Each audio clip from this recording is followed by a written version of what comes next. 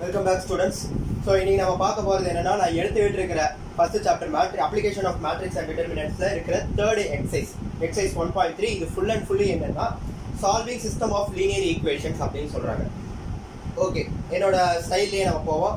As usual அந்த லைனை ஃபுல்லாக பிரேக் பண்ணுங்க. ஃபர்ஸ்ட் லீனியர் ஈக்குவேஷன் அப்படின்னா என்ன? லீனியர் அப்படின்னா என்னன்னு பார்த்தீங்கன்னா it represents a line so linear equation it's example of linear equation ax plus by equal to one அப்படிங்கிறது. இது வந்து நீங்க டென்த் ஸ்டாண்டர்ட்ல படிச்ச ஈக்குவேஷன் தான். சரி இதை வந்து நம்ம இன்டர்செப்ட் ஃபார்ம்ல எழுதலாம். X divided by one by a plus b divided by sorry y divided by one by b equal to one so இந்த இடத்துல இன்டர்செப்ட்ஸ் என்னென்ன வரும்? One by a and one by one by b இதுக்கு நம்ம graph போடும்போது என் graph எப்படி வரும்னா பிங்கிற இடத்துலையும் sorry one by b and one by a இந்த இடத்துல எனக்கு ஒரு லைன் வரும்.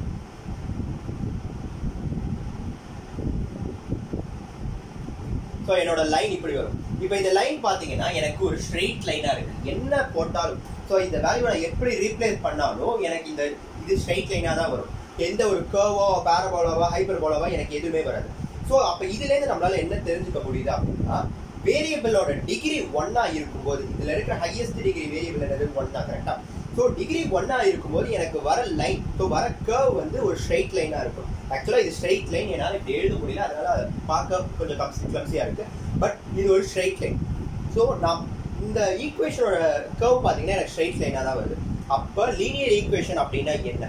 The graph of the equation gives a straight line and each point in the line satisfy the equation. So இப்போ இந்த லைனில் இருக்கிற எந்த பாயிண்ட் எடுத்தாலும் சரி இந்த லைன் எக்ஸ்டெண்ட் ஆகிட்டே போகும் கரெக்டாக இந்த லைனில் இருக்கிற எந்த பாயிண்ட்டை நான் எடுத்து இதில் சப்ஸ்டியூட் பண்ணாலும் எனக்கு சாட்டிஸ்ஃபை ஆகும். ஏன்னா அந்த அந்த பாயிண்ட்ஸ் எல்லாமே இந்த லைன்ல இருக்கு அப்படிங்கிறதால ஸோ இதுதான் லீனியர் ஈக்குவேஷன் அப்படிங்கிறது. இப்போ சிஸ்டம் ஆஃப் லீனியர் ஈக்குவேஷன் அப்படிங்கிறது என்னன்னு பார்ப்போம். ஓகே சிஸ்டம் அப்படின்னா என்ன? நம்ம ஜென்ரலாக சிஸ்டம்னா என்ன என்ன பார்ப்போம்? Collection of various objects okay so மேட்ரிக்ஸ்ங்கிறது ஒரு system collection of various elements அப்படிங்கிறது. இப்போ சிஸ்டம் ஆஃப் லீனியர் ஈக்குவேஷன் அப்படின்னா என்னன்னா where see different types of linear equations இருக்கு. ஃபார் எக்ஸாம்பிள் இந்த இடத்துல நான் எக்ஸாம்பிளுக்கு two x plus three y equal to six நான் ஒரு லீனியர் ஈக்குவேஷன் எடுத்திருக்கேன். X minus y equal to ஜீரோன்னு ஒரு லீனியர் ஈக்குவேஷன் எடுத்துருக்கேன். இப்போ இதை நான் சால்வ் பண்ணேன் அப்படின்னா என்ன ஆகும்? First x minus y equal to ஜீரோவை நான் சால்வ் பண்ணுறேன்னா எக்ஸ் ஈக்குவல் டு ஸோ ஒய்யை நான் ரைட் ஹேண்ட் சைட் கொண்டு போயிருக்கோம். அப்போ எனக்கு என்ன வரும்? எக்ஸ் ஈக்குவல் டு ஒய் வரும்.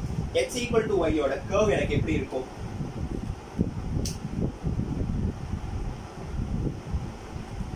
ஸோ எக்ஸ் e, இது எக்ஸ் ஈக்குவல் டு ஒய்யோட கேர்வ் அதே மாதிரி two x plus three y இதை எப்படி நான் சால்வ் பண்ண முடியும்? ஃபர்ஸ்ட் ஒய் ஈக்குவல் டு ஜீரோன்னு நான் போட்டுருவோம் ஒய் ஈக்குவல் டு ஜீரோன்னு போட்டால் இந்த ஹோல் டேம் எனக்கு ஜீரோ ஆயிடுமா? அப்போ two x equal to six வரும். அப்போ x equal to six by two is one by three அப்படின்னு வரும். ஒன் பை த்ரீ அப்போ இங்கே இருக்கும். ஓகேவா எனக்கு எக்ஸ் இன்டர்செப்ட் என்ன தெரிஞ்சது. அடுத்து அதே மாதிரி ஒய் இன்டர்செப்ட் என்ன தெரியும் கரெக்டா ஸோ இந்த இடத்துல நான் எக்ஸ் ஜீரோன்னு போடணும். அப்போ three y equal to six வரும். Y equal to one by two எனக்கு இங்கே வரும். எனக்கு கர்வ் இப்படி வரும்.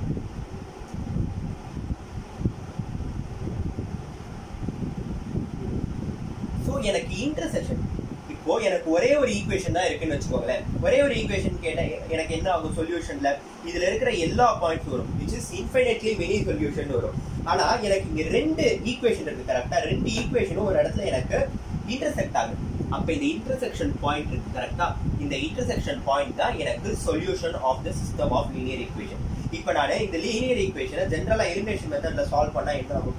இப்போ இங்கே x x minus y equal to zero இருக்கா? நான் இதை என்ன எழுதிக்கலாம்?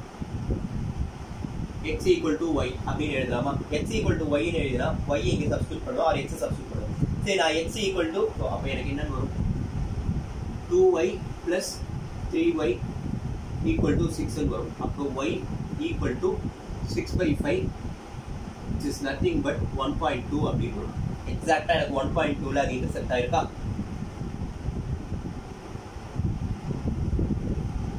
இதுதான் சொல்லலாம் இப்போ இந்த ஒய்யை வச்சுட்டு நீங்கள் எக்ஸில் சப்ஸ்டியூட் பண்ணாலும் எக்ஸ் ஈக்குவல் டு அப்போ எக்ஸும் ஒன் பாயிண்ட் டூல தான் இருக்கும். ஸோ எனக்கு இப்படி ஒரு என்னால் எலிமினேஷன் மெத்தட்லையும் சால்வ் பண்ண முடியுது கிராஃபிக்கல்லையும் சால்வ் பண்ண முடியுது. ஆனா இந்த இடத்துல கிராஃபிக்கலாக பாக்குறோம் அப்படின்னா என்ன அர்த்தம்? ரெண்டே ரெண்டு ஆக்சிஸ் தான் இருக்கா? Say x axis and y axis அப்படி இருக்கும்போது என்னால் எலிமினேஷன் மெத்தட்ல சால்வ் பண்ணிட முடியும். அதுவே three dimension x y z அப்படி மூணு ஆக்சிஸ் எனக்கு இருக்கு. அப்படின்னா எலிமினேஷன் மெத்தட்ல நான் சில அசம்ஷன் வச்சு தான் சால்வ் பண்ணணும். அப்படி சால்வ் பண்றது எனக்கு கஷ்டமா இருக்குங்கிறதுக்காக தான் மேட்ரிக்ஸ்ங்கிறது கொண்டு வரேன் ஓகே த்ரீ டைமென்ஷன் எப்படி நம்ம பார்க்கலன்னா ஜஸ்ட் நம்மளால இமேஜின் மட்டும்தான் பண்ண முடியும். ஃபார் எக்ஸாம்பிள் இந்த இடத்துல வெறும் ஒரே ஒரு ஈக்குவேஷன் இருக்கு அப்படின்னா என்ன ஆகும் அந்த ஈக்குவேஷன் மூணு வேரியபிள்ஸ் மூணு டைமென்ஷன்லையும் சேர்த்து வருது. ஓகே எனக்கு இப்படி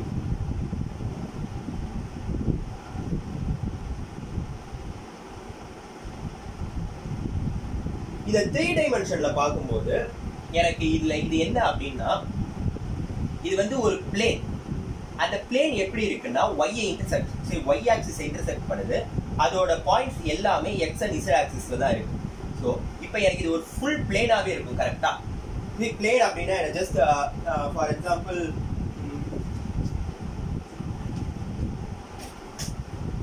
எனக்கு இது ஃபுல்லாகவே ஒரு பிளேன் அப்படின்னு வச்சுக்கோங்களேன். ஸோ இது ஃபுல்லாக நான் இந்த இடத்துல சப்ஸ்கிரைப் பண்ணியிருக்கிறது ஃபுல்லாகவே எனக்கு இப்படி இருக்கு.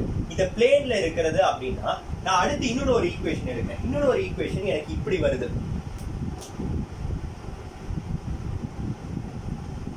இதுக்கு என்ன அர்த்தம்? இந்த பாயிண்ட் நம்ம டூரியில் பார்க்கும்போது எனக்கு நான் சால்வ் பண்ணிட்டேன் அப்படின்னு நினைக்கலாம்.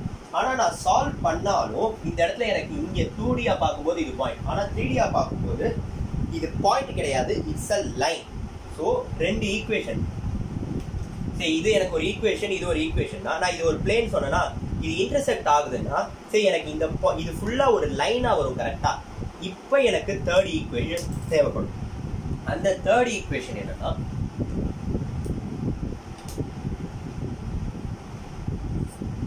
இப்போ எனக்கு என்ன ஆகுது? மூணு ஈக்குவேஷனில் கிடைச்சிருச்சு. இந்த இடத்துல மறுபடியும் இன்டர்செக்ட் ஆகிற ஒரு பாயிண்ட் இருக்குது இப்போ இது எனக்கு பாயிண்டா இருக்கும். ஸோ நம்ம மறுபடியும் அசியூம் பண்ணால் என்ன ஆகும் ஒரு பிளேன் இருக்குது ஒரு அடுத்து இன்னொன்று ஒரு பிளேன் இது ரெண்டு இன்டர்செக்ட் ஆகுறது எனக்கு ஒரு ஹோல் லைனாக கிடைக்கும். இப்போ இந்த இடத்துல நான் இன்னொன்று ஒரு ஈக்குவேஷனை போடும்போது எனக்கு இன்டர்செக்ஷன் பாயிண்ட் கிடைக்கும். இதுதான் solving system of linear equations having three variables இப்படி த்ரீ வேரியபிள்ஸில் இருக்கிறத நம்மளால எலிமினேஷனில் சால்வ் பண்ண முடியாதுங்கிறதுக்காக தான் மேட்ரிக்ஸை எப்படி சால்வ் பண்ணலாம் அப்படிங்கறது கொண்டு வந்தோம். ஓகே இதுதான் background story system of linear equations எப்படி சால்வ் பண்றது எதுக்காக சால்வ் பண்றோம் அப்படிங்கிறதுக்கான ரீசன் இப்போ அடுத்து மேட்ரிக்ஸ் வச்சு எப்படி சால்வ் பண்ணலாம் அப்படிங்கறத பார்க்கலாம்.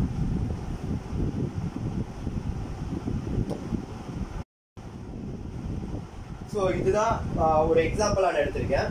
நான் ஏற்கனவே மென்ஷன் பண்ண மாதிரி வீடியோஸில் நான் எல்லாமே எந்த பேஜ்லேருந்து இருக்குங்கிறத ரெப்ரசென்ட் பண்ணுறேன்னு சொன்னேன்.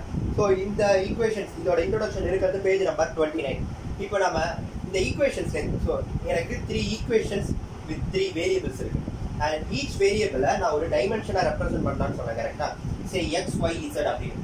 எக்ஸ் ஒய் இசட் மூணு டைமென்ஷனாக நான் ரெப்ரசென்ட் பண்ணிருக்கேன் இப்போ ஏ- ஒவ்வொரு ஈக்குவேஷனுக்கும் எனக்கு ஒவ்வொரு லைன் நம்ம இங்கேருந்து பார்க்கும்போது ஒரு லைன் ஆகும் ஸோ ஃபர்ஸ்ட் ஈக்குவேஷன் போடுறோம் அப்படின்னா எனக்கு எல்லாமே ஒரு பிளேனாக தான் வரும். Each equation represents a plane three dimension அப்படின்னு சொல்லும்போது ஒரு ஈக்குவேஷன் சொல்கிறோம்னா அது பிளேனாக இருக்கும். அதுவே டூ டைமென்ஷன் சொல்கிறோம்னா அது ஒரு ஈக்குவேஷன் ஒரு லைனாக இருக்கும். ஸோ எனக்கு ஒவ்வொரு ஈக்குவேஷனும் ஒரு பிளேனை ரெப்ரசென்ட் பண்ணணும். இப்போ ஒரு பிளேன் அந்த பிளேன் எப்படி இருக்குன்னா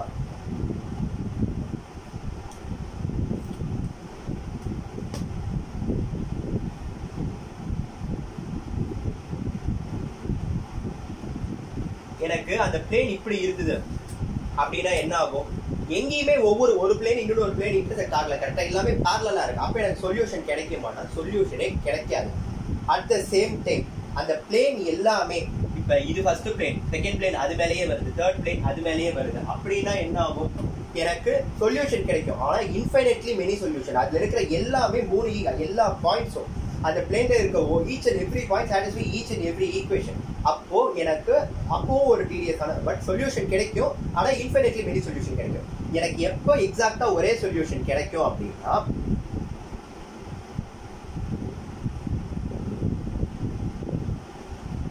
ஒவ்வொரு பிளேனும் ஒவ்வொரு டைமென்ஷன்ல இருக்குது எனக்கு எப்படி இருந்தாலும் மூணு இன்டர்செக்ட் ஆச்சு ஆர் ரெண்டு இன்டர்செக்ட் ஆச்சுனாலே எனக்கு சொல்யூஷன் கிடைச்சிடும் எப்போ எனக்கு சொல்யூஷன் கிடைக்காது? எதுவுமே இன்டர்செக்ட் ஆகலைனா தான் இருக்கும் எனக்கு ஒரே ஒரு சொல்யூஷன் எப்போ கிடைக்கணும்னா எல்லாமே நான் பேரலல் நான் பர்பண்டிகுலராக இருக்கும்.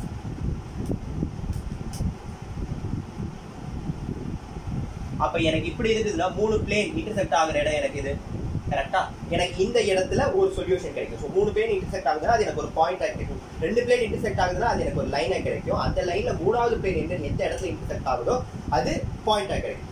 சரி ஓகே இப்போ மேட்ரிக்ஸ் வச்சு எப்படி சால்வ் பண்ணலாம் அப்படின்னு பார்க்கலாம் ஸோ மேட்ரிக்ஸ் வச்சு சால்வ் பண்ணுறது அப்படின்னு சொல்லிட்டு இது இருக்கிற page number thirty one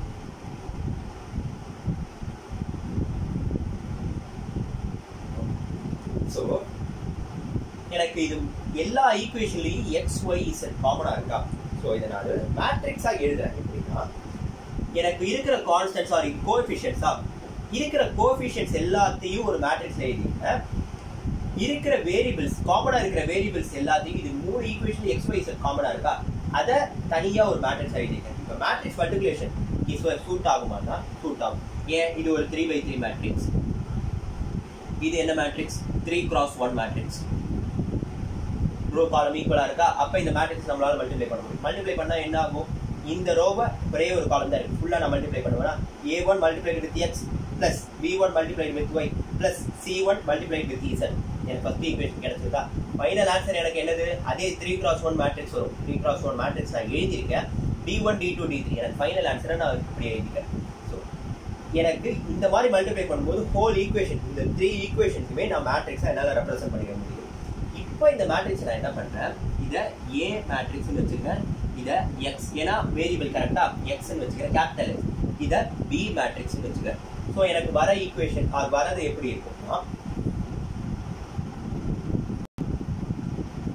okay எனக்கு வரது ஏஎக்ஸ் ஈக்குவல் டு பி அப்படின்னு இருக்கும்.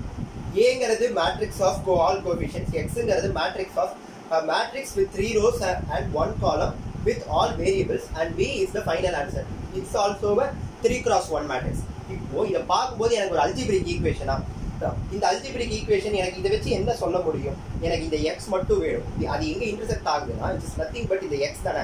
அந்த எக்ஸில் தானே எல்லா வேரியபிள்ஸ் இருக்கு. அப்போ எனக்கு அது மட்டும் தெரிஞ்சா போதுமா? அப்ப நான் அந்த எக்ஸை எப்படி சால்வ் பண்ணலாம்? அப்படின்னா அல்ஜிபிரிக் இதை சால்வ் பண்றோம்னா நம்மளுக்கு என்ன ஆகும்? அல்ஜிபிரிக் படி பார்க்கும்போது நம்ம என்ன பண்ணுவோம்? X equal to b by a அப்படின்னு எழுதுவோம். வேற சல்ஜிபிரிக்குங்கிறதுனால a not equal to zero அப்படின்னு சொல்லுவோம். ஆனா மேட்ரிக்ஸ்ல பார்க்கும்போது இதை எப்படி கொண்டு வரலாம்னா டேரக்டா நம்மளால டிவைட் பண்ணிட முடியாது கரெக்டா ஸோ இந்த ஹோல் ஈக்குவேஷன்லயே நான் என்ன பண்ணிக்கிறேன்? Pre multiply with a inverse அப்ப என்ன ஆகும் a inverse into a into x equal to a inverse into b அப்படின்னு வரும் கரெக்டா அப்ப இந்த ஏ இன்வெர்ஸ் இன்டூ எக்ஸ் எனக்கு என்ன ஆகும்? ஐடென்டிட்டி அப்படின்னு ஐடென்டிட்டியை நான் எக்ஸோட மல்டிப்ளை பண்ணாலும் எனக்கு எக்ஸ் தான் வரும். அப்போ x equal to a inverse into b இப்படி வரும் கரெக்டாக இப்போ எனக்கு எக்ஸ் ஆன்சர் கிடைச்சிருச்சு கரெக்டாக ஆனால் எனக்கு என்ன இருக்கக்கூடாது? இங்கே நாட் ஈக்குவல் டு ஜீரோன்னு சொன்னா. ஆனால் இங்கே என்ன எனக்கு என்ன வரும்? Modulus of or determinant of a not equal to zero non singular மேட்ரிக்ஸாக இருக்கணும். ஏ அண்ட் இதுலேயே நம்மளுக்கு தெரிஞ்சிருது ஏ இன்வெர்ஸ் வருதுன்னா அது ஒரு ஸ்கொயர் மேட்ரிக்ஸாக தான் இருக்கும். இவ்வளோ தான் இந்த எக்ஸசைஸில் நம்ம பார்க்குறோம். இதில் வேறு வேறு சம் வேர்ட் ப்ராப்ளம்ஸும் இருக்கு. அந்த வேர்ட் ப்ராப்ளம்ஸை நீங்களே சொல்யூஷன் கண்டுபிடிக்க ட்ரை பண்ணீங்கன்னா உங்களுக்கு எப்படி இதை சால்வ் பண்ணுறதுங்கிறதுக்கான ஒரு கிளியர் கட் ஐடியா வந்துடும் இதில் இன்வெர்ஸ் எடுக்கிறது அப்படிங்கிறது நான் ஃபஸ்ட்டு எக்ஸசைஸில் நடத்தின மாதிரி அட்ஜாயின் வச்சு எடுக்கலாம். செகண்ட் எக்ஸசைஸில் நடத்தின இது நடத்தின மாதிரி சே அந்த ரேங்க் மெத்தட் அதை வச்சு நம்மளால எடுக்க முடியும். காஸ்டோட மெத்தட் வச்சு எடுக்க முடியும். தேங்க்யூ கைஸ் இவ்வளோதான் இந்த எக்ஸசைஸ் ஹோப் இந்த வீடியோ உங்களுக்கு இந்த புரிஞ்சிருக்கும்னு நினைக்கிறேன். நெக்ஸ்ட்டு ஒன் பாயிண்ட் ஃபோரில் பார்ப்போம்.